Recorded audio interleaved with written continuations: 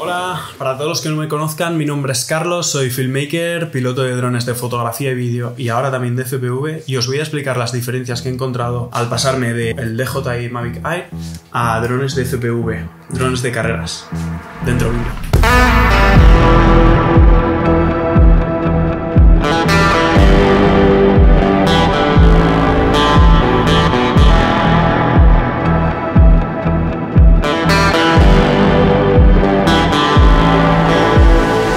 Tell me what you want, what you need from me, baby.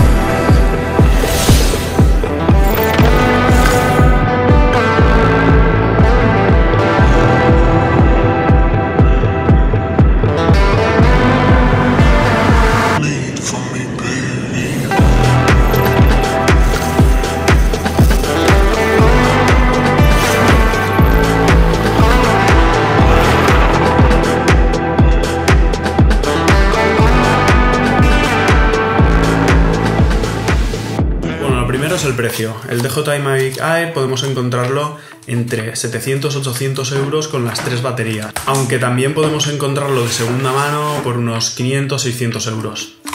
Un dron de FPV como este podemos encontrarlo lo que es solo el dron por 230 euros aproximadamente. Pero claro, luego tenemos que añadir las baterías, las palas, las gafas, el mando. Mi presupuesto para este dron han sido unos 500 euros en total contando con el mando y las gafas, ya que son un mando y unas gafas bastante sencillas, bastante baratas. Los drones de fotografía y vídeo como el DJI Mavic Air están diseñados para un uso más comercial, son drones que prácticamente vuelan solos. Se conecta el móvil al mando por medio de una aplicación y desde ahí vas viendo desde la pantalla del móvil todo lo que el dron ve. Si pierde señal, vuelve el solo al punto de origen de donde lo has despegado, puedes configurarlo para que te siga. Y tiene una cámara que graba hasta 4K en 30 fotogramas por segundo, lo que lo hace un dron bastante completo. Un dron de FPV te transmite la señal en primera persona, se maneja con un mando y unas gafas que ves a tiempo real todo lo que ve el dron por esta cámara. Esta señal la transmite en analógico, por lo que es bastante mala la calidad que tenemos en la cámara, por lo que si queremos grabar vídeos cinemáticos necesitaremos acoplarle una cámara, yo uso la GoPro, la GoPro Hero 7, entonces esto lo encarece un poco todo. Si lo que queremos es grabar vídeos cinemáticos con el dron de carreras, se necesita una cámara, porque esta cámara ya os digo que vemos algo como esto.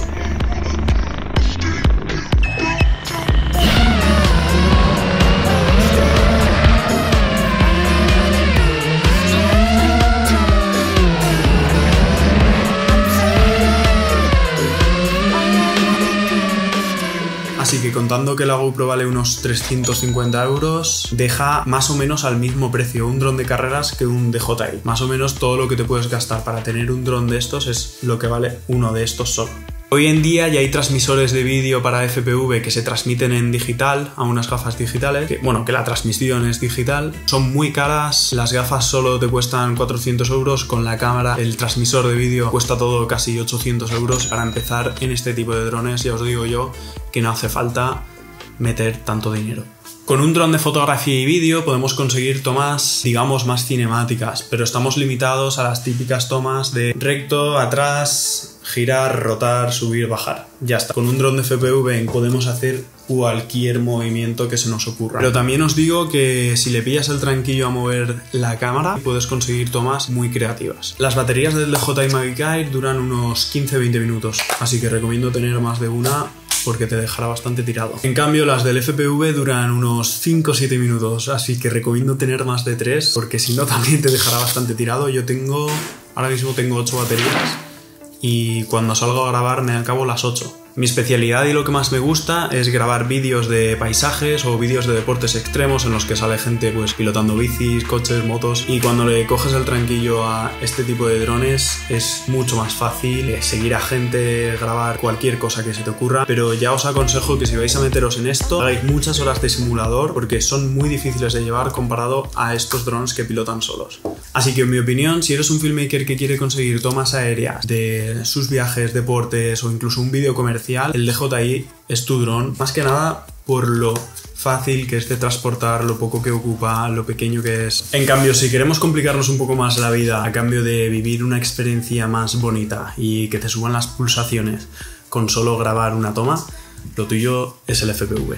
Así que nada, esto es todo. Os dejo enlaces en la descripción a todo lo que he nombrado y nos vemos en el próximo vídeo en el que voy a explicar todo lo que llevo en mi mochila, todo lo que llevo en mi mochila de viaje todas las cámaras, estabilizadores, todo lo que llevo. Y nada, nos vemos en el próximo vídeo.